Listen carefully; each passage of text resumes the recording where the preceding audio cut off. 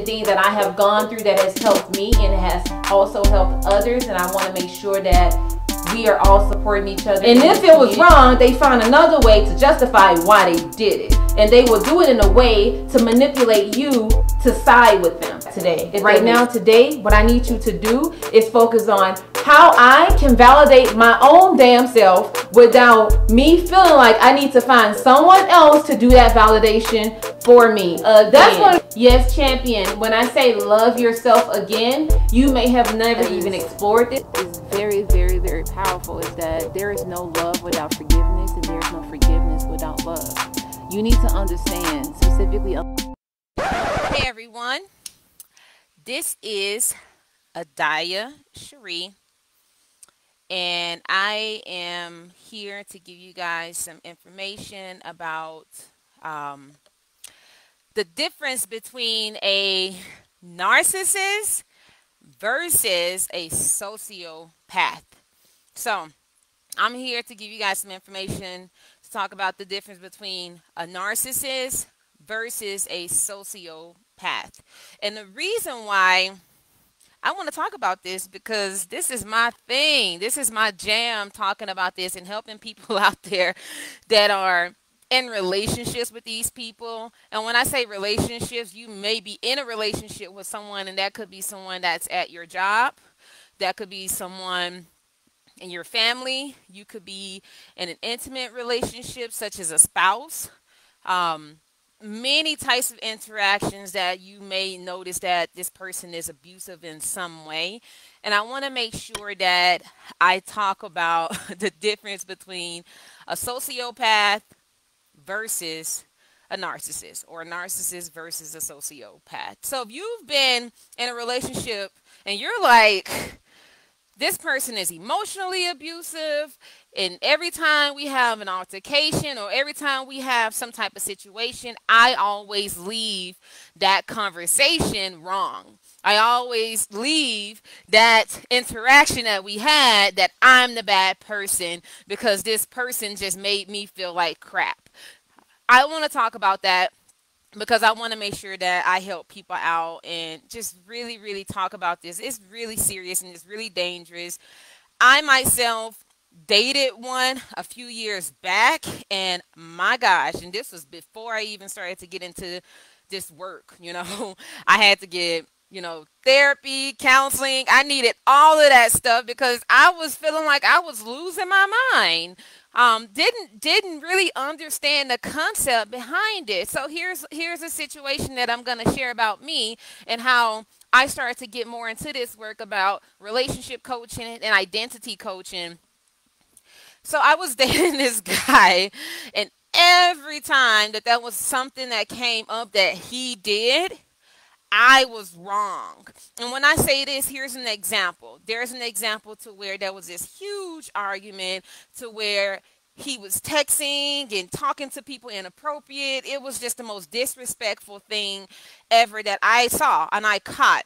And he made it seem like it was me. He made it seem like it was me. And honestly, I wasn't going through his phone to look at anything. I actually had his phone and the messages popped up. Like, but he was outside and then he came back. And obviously, the message was up there because it was in my face. Like, I had the phone. Like, every everything was showing. And then right after that, like, I was the bad person I was the bad person. And then it gets even further, even more uh, with a situation that I encountered is that, and if you know that this has been your jam in a relationship, this video is for you. This video is for you. There was another situation that I encountered. I encountered to where um, he apparently was still having some type of issues with his ex or something like that, and I'm going to turn my phone off or at least turn it down because I'm sick of it going off, and it's going off while I'm while I'm actually live. Um, he was still having some interactions. I don't know what the situation was, and there was this huge blow up. Like the lady like finds out, and and I'm like, I didn't even know that y'all was even together. I don't even know if he was actually with her, but I think he was just trying to persuade his way to get something from her. And obviously, he had sent her flowers and all of that. And I found out, right? So I found out. and then, like, he was just crying. Like, he was crying, like, boo hoo, crying, like, crying. But here's the reason why I said that is because while he was crying, right? In, imagine this. While he was crying, he says, Cherie, don't you know that don't you see that I've been crying my crying all night and I've been crying basically wanting me to feel bad that he was crying, you know, but but he was the one that did it that caused all the tears. But he wanted me to feel bad for him, basically saying, do you see that I'm actually making some efforts and crying? You should feel bad for me, so take me back. Like, no, like that's this is why I want to talk about this is because I I talk to men and women. I coach men and women, and I see it in women and I see it in men. One thing that I will definitely say, I'm going to tell you guys the difference between the two so you can know who you messing with, okay? So, when you think about a narcissist, that's a personality disorder. Sociopath, also a personality disorder. Many times people like to use them interchangeably. No, they're not the same. A narcissist is a person that feeds and crave for attention. Like whatever the person has to do they want it. If it's about them, they want it. If it has something to do with someone else, they don't want anything to do with it. So here's an example of a narcissist. I used this one time in my one of my YouTube videos and then I'll post that at the bottom so then you guys can see the difference between the two. So, a narcissist is someone that, when I say crave attention, that is their agenda. That is their agenda. A narcissist is someone that craves attention, and if it's not about them, they want nothing to do with it. That is an arrogant person. And when I say a narcissist, a narcissist everything has to be about them, whether they are a covert narcissist or whether they're like all grandioso. You would know. You would find out what their intentions are. Why? It because they want it. They you would see it. You would naturally see that every time you're having a conversation with someone, you can be having the the best conversation at a dinner table and you're talking about that you got uh, you know maybe someone is getting married right maybe someone has just gotten engaged a narcissist will turn that around on them and make the whole conversation about them when you just said, hey, I'm getting engaged. I met a nice woman. I met a nice man. Um, or whatever it is that you want to celebrate at the table. A narcissist will turn that conversation around and make it about them. Have you ever been around people that you're noticing is that whatever it is that's not about them, they want nothing to do with it, and they will make every attempt to bring the spotlight on them. That's a narcissist. That is a narcissist. Now, a sociopath. A sociopath is not that, right? A sociopath is a narcissist, but a narcissist doesn't necessarily have to be a sociopath. Here's why. A sociopath does not right? A sociopath does not have to work hard. A sociopath is very cunning. A sociopath is very manipul- manipulative. They would do whatever they need to do discreetly and instead, let's say that same example, the same example would be you're at that same dinner table with a sociopath and you're talking about all the greatness and good things that are happening in your life.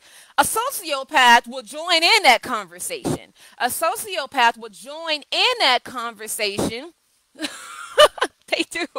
They join in that conversation because they don't have to work that hard. They don't have to work that hard for you to like them. Why? Is because they're going to put the attention on you so then you can like them. Why? Is because they have a different intent anyway. Let me give you some examples. If you watch serial killers, um, moves or Ted Bundy's, Charles Manson, these type of people, they're sociopaths.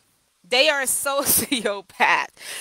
they really put the spotlight on other people. Now, I will tell you this a sociopath does not, when I say they don't have to work hard, they don't have to work as hard as a narcissist because that's not really their thing. That's not really their agenda. Unless they have an agenda to get something from you, they're not really concerned about what's going on in your life. They're just going to side with you and just appear, appear to be on your side. Now, here's the thing about a sociopath a sociopath doesn't really have a personality. A sociopath doesn't really have a personality. They really don't. You don't know what personality they have. That's why when you see these documentaries of these serial killers, like they look like this and then they look like that, you really don't know who that person is because they aren't sociopaths because their whole intent is to get something else. That's why when you understand the difference between a narcissist a narcissist will work very hard to get anything that it wants, such as power, um, greed, anything that re- revolves around something that pertains to them having something. That is a narcissist. Okay? That is a narcissist. Now, when you look at um, a sociopath, when you look at a sociopath, a sociopath does not really care. They don't really care about what's going on in your life because they don't really have a personality anyway. That's why they do the most bizarre things. So when you're starting to pay attention, start paying attention to the people that you feel like, I just had this huge conversation with someone, right? And I'm telling you this as advice.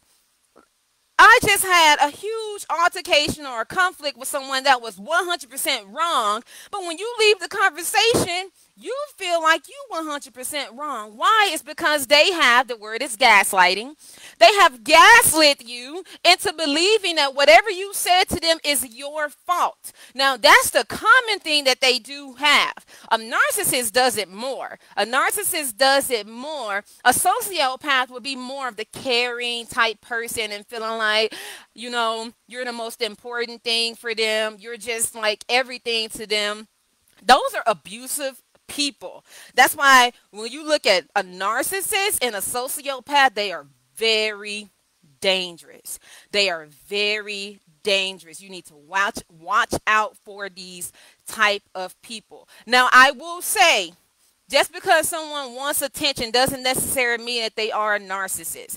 What I'm talking about, you have to pay attention to the tactics and the things that they are doing to get that. I will say this a sociopath is not easy to identify. A sociopath is not easy to identify. Here's one story that I read about, and I'm mentioning Ted Bundy. Right before Ted Bundy was executed, he completely denied every killing that he had with all of these women, all of his victims, until the last moment. Until the last moment when he was sitting before his execution with his, I think his girlfriend, he had been with his girlfriend for seven years. She had no clue all the list was going on. I think this man was so sick that he killed like a 12 year old or, or something like a child.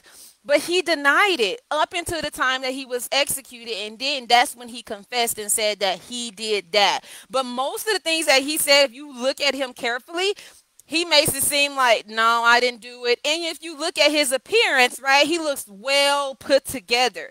He looks well put together. He's a sociopath because even his girlfriend had a had a daughter. No one even really had a clue that this was going on. Why? It's because he had all these other personalities that you never even knew exist. A narcissist don't a narcissist will be exposed quicker. That's why it took Ted Bundy so long to be prosecuted and convicted because a, a, sociopath is very, very conniving. A narcissist would expose themselves way sooner because they react sooner. Why? It's because they care about themselves and they want to make sure that they want to make sure that their cup is filled with themselves. So then you will start to see their behavior way quicker than a sociopath. So know the difference between the two. If you guys have any questions, feel free to hit me up. This is Adaya Cherie. I'm always here making sure I give you guys some information about, you know, and today I wanted to talk about the difference between a sociopath and a narcissist. Watch out for those narcissists and watch out for those sociopaths. Those people can drive you crazy. If you have been dealing with these type of people, hit me up. Y'all take care and y'all be blessed.